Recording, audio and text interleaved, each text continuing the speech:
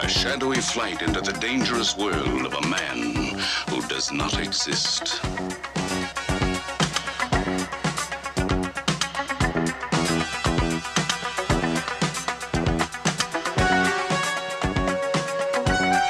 Michael Knight on a crusade to champion the cause of the innocent, the helpless, the powerless, in a world of criminals who operate above the law.